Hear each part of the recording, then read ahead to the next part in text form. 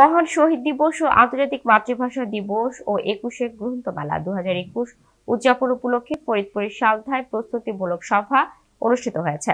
আজ সকাল এগারোটায় উপজেলা হল রুমে এ সভার আয়োজন করেন উপজেলা প্রশাসন।